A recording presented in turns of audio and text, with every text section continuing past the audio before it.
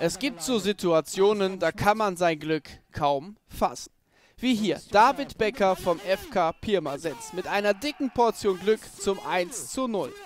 Der Jubel danach riesig. Und wir freuen uns mit euch auf eine neue Folge von Hi Five.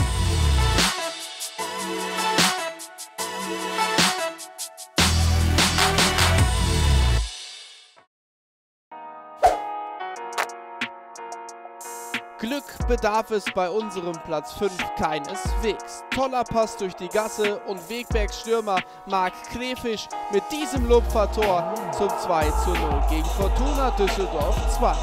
Ja, das freut nicht nur die Bank von Wegberg Beek, sondern natürlich auch HP Baxter.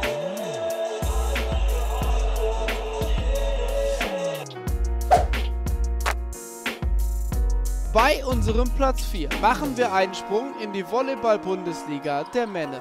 Finalserie zwischen Berlin und Friedrichshafen und Sprung ist hier genau das richtige Stichwort.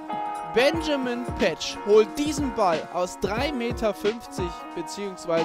4 Metern Höhe runter und legt ihn genau ins gegnerische Feld. Hut ab!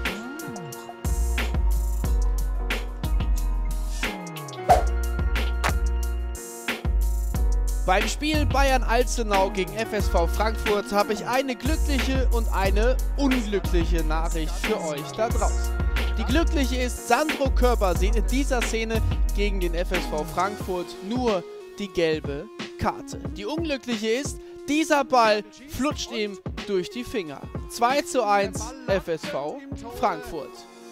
Erst Glück, dann Unglück.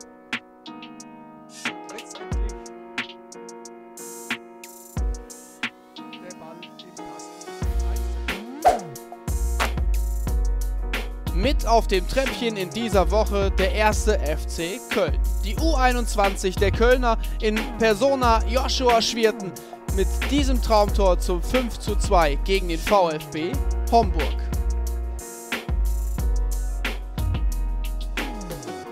Auch hier Hut ab.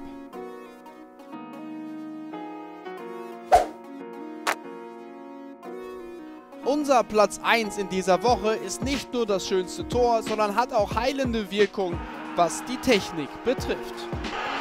So, und pünktlich äh, zum Tor von Rödinghausen funktioniert dann auch die Audio-Video. Sivakala mit dem 1 zu 0 für den SV Rödinghausen. Also danke an den SV Rödinghausen und Simakala für dieses wunderschöne Tor und für die technische Unterstützung. Und damit war es das aus dieser Woche. Lasst ein Abo da und schaltet nächste Woche wieder ein für eine neue Folge von High Five.